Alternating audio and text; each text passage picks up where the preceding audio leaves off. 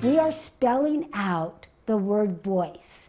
And if you want to find your voice, you've got to have the courage for a cause.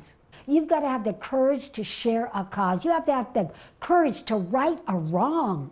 You've got to stand up for maybe it's bullying, maybe it's trafficking, whatever it is, whatever cause, maybe it's dog abuse.